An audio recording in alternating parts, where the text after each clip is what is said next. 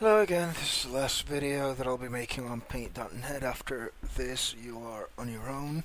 Um, I'm going to show you, you know, how to take an element from one picture, put it on top of another, maybe play with lighting a little bit to change the mood of a picture, that sort of stuff. Um, maybe overlay one image on top of another with some transparency. So these are just simple techniques. So let's start with this uh, random guy with a camera and this picture of old San Juan. This is a photograph that I took when I went uh, to Puerto Rico last time.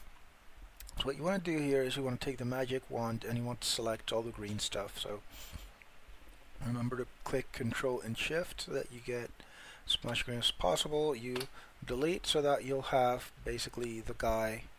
Right, and let's get rid of this screen as well.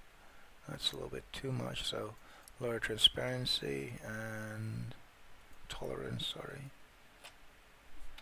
I'm just going to call that good enough. So now you want to select the guy. You want to copy and you want to paste him into a new layer wherever you want to put him on down here. And now you have that guy kind of overlaid there taking a photo. Alright, so that's, you know, basically if you want to take a picture of yourself on in front of a white or wall or whatever color and then just kind of Photoshop yourself into a place, that's how you do it. Alright, um, so let's go ahead and get rid of this layer. Um, this place looks really nice, sunny. Let's say that you want to darken the mood a bit. That's uh, you know rather simple. You add a new layer. You spill the color black all over that new layer. Then you make it invisible and you select the areas where you want the light source to come from. So I'm going to go ahead and use the lampposts here to be lighter than the rest of the area. We go back to the black layer, lighten it up right, by deleting the selected sections and now we use blurs. You can use fragment, you can use Gaussian, it doesn't really matter. I'm going to use Gaussian because I'm lazy like that. What you're going to do is play with the radius until you see something that you kind of like right? So if I go all the way uh, this I don't like so much here. We have a sort of effect that looks nice but then the uh, the part over here where I wa did want to have some light is just covered completely with darkness so maybe a little bit less. Um, let's go with something that's maybe barely visible back here. Let's see how does 150 look. Alright so we're already in the 130s and I'm gonna call 130 good enough. Alright and then you play with the transparencies. Alright so let's say a transparency of 175 right?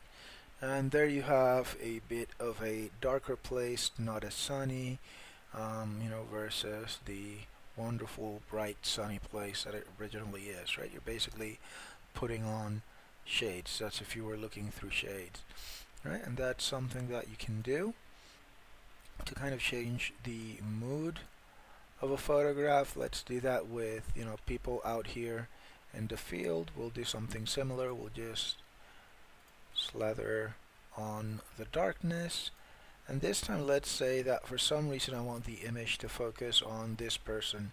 This is a uh, public domain image from publicdomainimages.com so let's say that I want to focus on this person and the rest of the image will be there.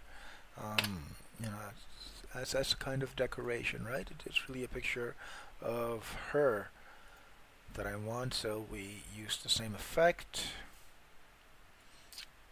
right, to kind of blur.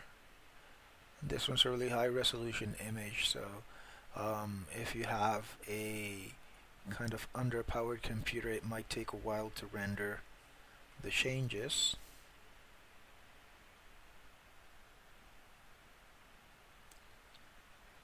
Once you've done that, again, you play with the transparency, see what you like.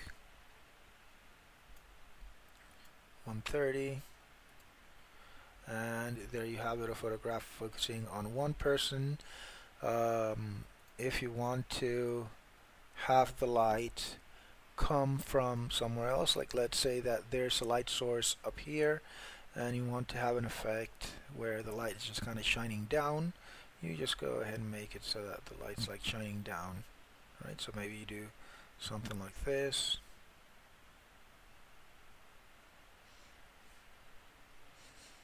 or whatever shape you want to do you can get creative.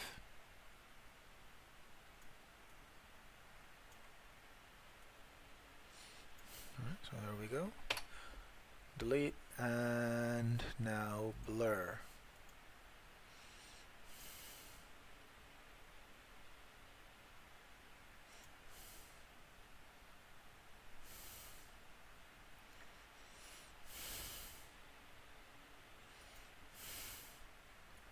Alright, and there you have an effect where basically half of the image is lighter than the other half and you can play with the transparency level however you want.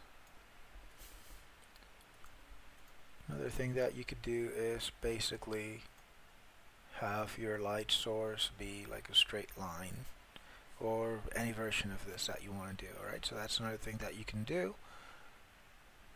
Let's go ahead and delete this. Alright. And why not, let's just put a photographer right there. Paste into a new layer. And he's quite tiny, right? Um, I don't remember why I have the pigeon there. I was probably going to show you more lighting stuff, but um, that's it. Alright, so, you know, have fun playing around with paint.net and let me know if you find some other techniques fun.